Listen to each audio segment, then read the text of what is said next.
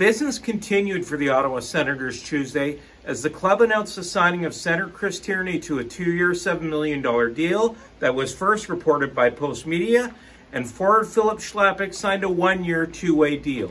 In the case of Tierney, General Manager Pierre Dorion has insisted that this club cannot play with a roster full of young players.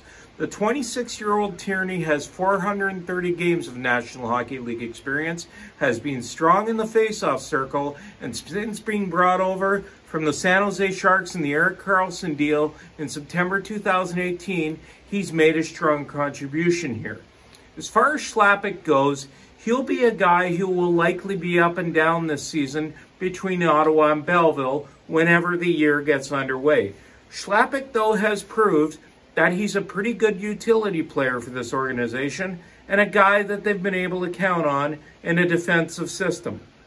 Now, looking ahead, the Senators may still have a couple of moves before the season starts.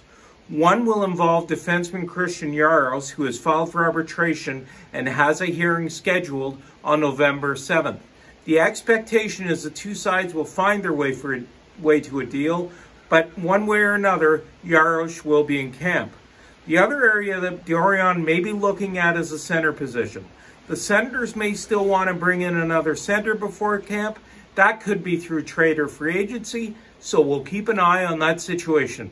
For Postmedia in Ottawa, I'm Bruce Garrioch.